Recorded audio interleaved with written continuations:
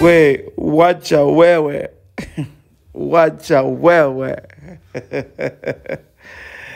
Ladies and gentlemen thank you so much for loving kambuga tv my name is mc barrio. The pictures on your screen signify the arrest of one of the biggest dancehall artists here in uganda.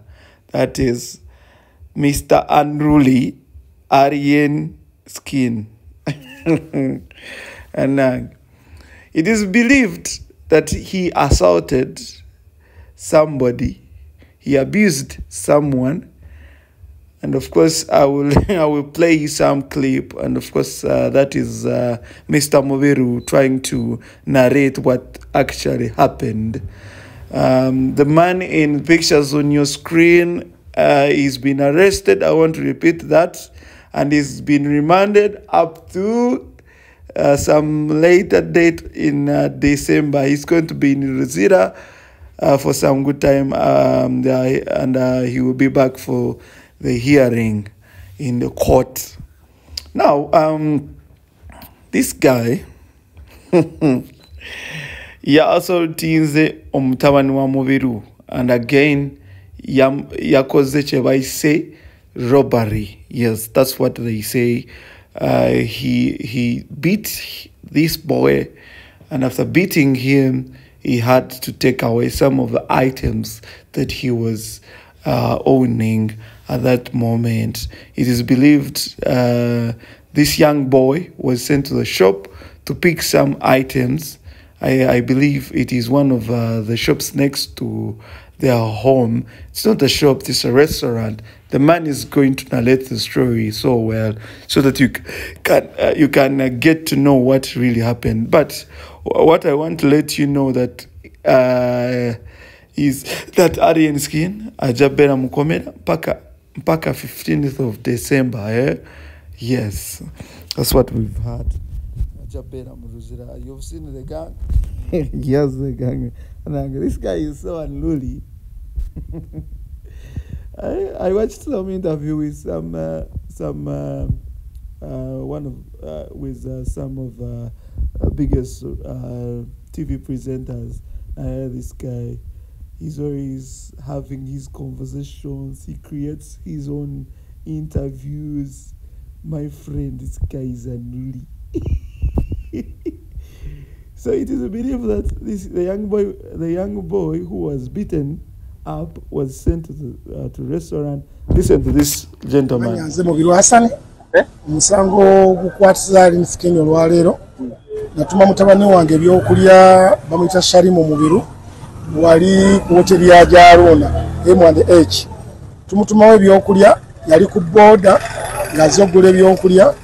Ali emisikini najja nga amugoberera ali emisikini byamusangawo n'atuma abavubuka be tebamuyita omwana n'agaana. Ali emisikini n'agenda mu woteri n'amukubira mu woteri bubi nnyo n'amuggyako ebintu byesimu sente biki. Abavubuka ne bamukyajinga ne bamuggyako ebintu bye. Kati omwana baatuyita ne tumutwala mu ddwaliro twamutwala mu ddwaliro tumujjanjaba twamala omujjanjaba n'atubuulira ebibaddewo. Ne tugulawo omusango ku poliisi ekatwe gumaze kati almost weeks nga bbiri manya emyezi ng'ebiri omusango ogwo poliisi ebadde gugoberera ne poliisi yatuuka okutyala emisikini okumunona ewuwe nakati olwaleero bamugezeza kumunona ewuwe era ne balemererwa baleese konvoyi naye nga yanayo kwaya emisikini alina ganga ey'abavubuka. Kati olwaleero tujja tukirondoola twalemedde ku dpc wekatwe netulemera ku dpc ku wos extension netulemera ku bantu bosi operation twalemerako olw'ensonga eyo. Kwa fayiro yali yagenda dua state. Nga baz- bagiteekako dda egende mu kooti ne batakikola.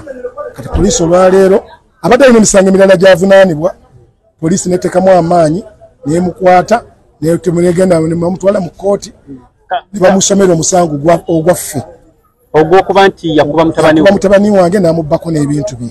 Gwe bamusomedde mu kooti gwe bamusomedde mu gwe kooti bayita batya ogwo?